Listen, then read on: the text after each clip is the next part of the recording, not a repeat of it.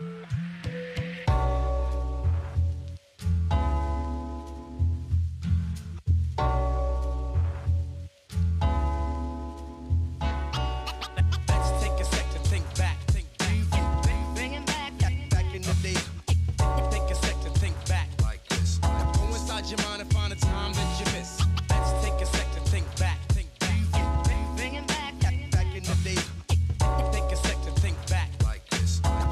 would you mind and find the time that you miss? Let's take a second